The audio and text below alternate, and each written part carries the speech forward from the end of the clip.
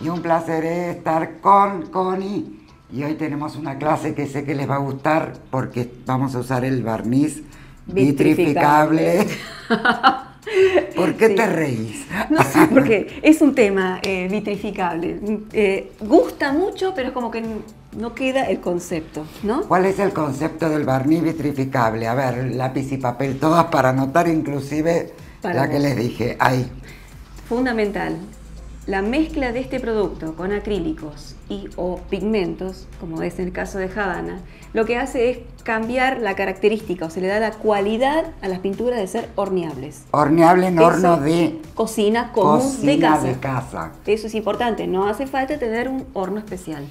Hay muchos, muchísimos, muchísimos videos que usamos el barniz vitrificable, de Plantec con Connie, que vieron que hay tazas en YouTube, en nuestro canal, ahí pueden entrar, y también en Plantec, en la página de Plantec, donde están las propiedades de los productos, productos Plantec, y si no el Facebook de Connie o también de Productos Plantec. ¿Por qué? Porque es divina la clase, van a ver que vamos a imitar eh, la mayólica. La mayólica que le gusta a todo el mundo.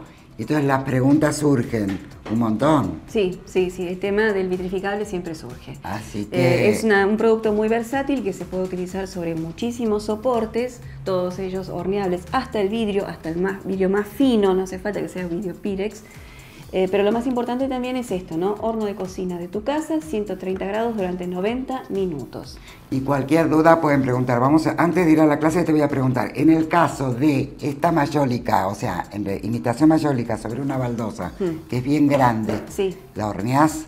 Sí, Ah, sí, sí, la entró en el horno. Sí, entró en el horno. Sí, sí, sí, no, entró en el horno. Ok, o sea, entró en el horno. Hasta ahí llegás. Eh, tipo, esta media está buenísima. Está muy, sí, hasta un poco más grande también. También, si tenés un horno grande está. Y si no, los azulejos chiquitos lo vamos a hacer ahora. Vamos a la clase, no vamos a esperar. Basta, no hablemos más. A trabajar.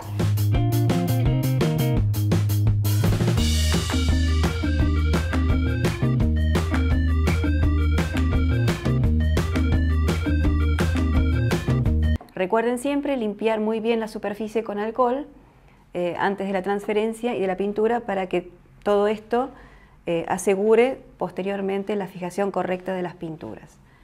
Una vez que tengo transferido el diseño, comienzo a delinear con la guta. En este caso estoy utilizando guta verde perlada. Un pulso relativamente bueno, mucha calma, disfrutar de la técnica. Lo bueno de estas gutas es que tienen un pico realmente fino que permite realizar el trabajo prolijo. Una vez que pasamos la guta, vamos a colorear con, eh, digamos, estas pinturas. Habana, ¿sí? en este caso azul real, mezclado con vitrificable en proporciones iguales. Azul real, el otro tono que utilicé es el verde, de Habana y el verde manzana. Tres tonos nada más. Yo acá ya los tengo mezclados. Comienzo por el verde, con en este caso un pincel imitación Marta, redondo número 2. Paso, de paso eh, les comento que el pelo imitación Marta, que es un pelo natural, es también de la Marta, o sea, del animalito Marta, criado en cautiverio, pero los pelos que se utilizan no son del lomo, sino de otras partes del cuerpo del animal. Por eso se llama imitación Marta.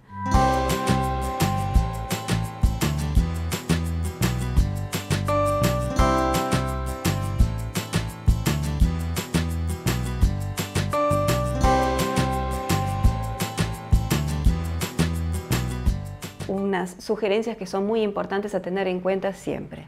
Lo dejo orear perfectamente, aplico a modo de protección extra con el vitrificable a toda la superficie utilizando o un rodillo que le va a dejar esta, esta textura porosa o si no con una pinceleta sintética que es muy suave y que no deja marcado el trazo por lo menos después de este último paso, Dejo orear 4 horas. Yo recomiendo recién hornear al día siguiente. Cuanto más tiempo nosotros le damos a las pinturas a que reaccione sobre cualquier superficie, los resultados van a ser óptimos. Al día siguiente, horno 130 grados durante 90 minutos y van a tener una mayólica perfecta.